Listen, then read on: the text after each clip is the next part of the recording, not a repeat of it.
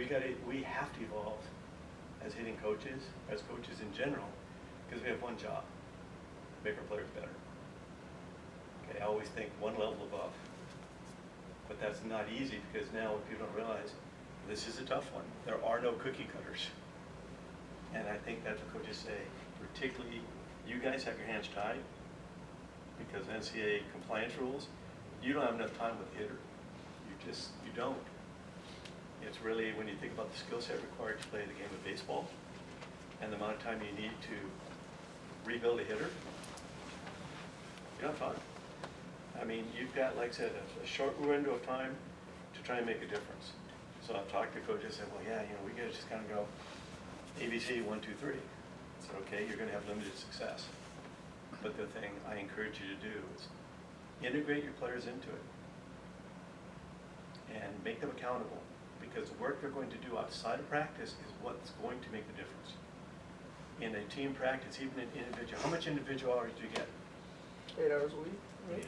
Yeah, Okay, or but- baseball, but. However, Oh, yeah. what about baseball? Again, it limits out because guess what else is taking? Lifting, yeah, Right. conditioning. Right, which is another thing we're gonna be looking at too. Because a lot of times we sure never realize, uh, the adage of, you know, let's get stronger, we need you to get stronger. What times do you get strong wrong? You know what strong wrong is? We have strong wrong in the room. That's stiff. And um, with all due respect, you realize you said, I gotta get bigger to compete, but what happens if I get tight? And we've all seen this, you know that guy's sophomore year, pop drops like five or six, everybody says, hey, draft ra- draft coming up, you know, you need to hit twelve or fifteen, what's the first thing he does?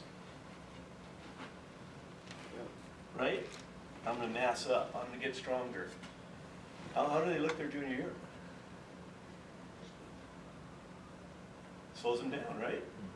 suddenly now, or, or they're really, now they're into the point of, I'm over swinging, I'm gonna try hard, I need to hit with power. And they forget how to hit.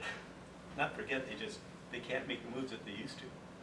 Because again, with restricted movements in our body, we're going to probably recruit things in, in a bad sequence. And again, just try to barrel up and do too much. You know, um, as we talked about the influence of a lot of the social media and all this stuff that's in your faces and those hitters' faces every day, there's primarily what I call overswinging. You know, big shoulder moves. You know, swing hard. And, you know, everybody like, you know, pats himself on the back. Yet, for uh, probably the last six or seven years, I get coaches, from Major League Baseball, all the way down going, man, those are bad swings. But now I'm getting coaches come up and tell me, say, that's, that's my freshman. And they, they hold on to this stuff. And you know what, it might, it might have worked in high school. It could have worked in high school. But what happens when they move up in four-year ball? Things change a little bit, right? So I'm not saying those kids weren't good enough baseball players to move up. But they ran into a brick wall because everything they were doing wasn't working forward to get the right movements and key adjustability.